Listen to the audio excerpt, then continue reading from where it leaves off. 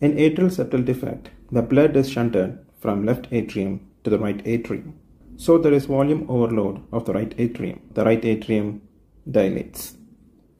From the right atrium, the increased blood flow reaches the right ventricle. So with time, the right ventricle also dilates and it forms the cardiac apex.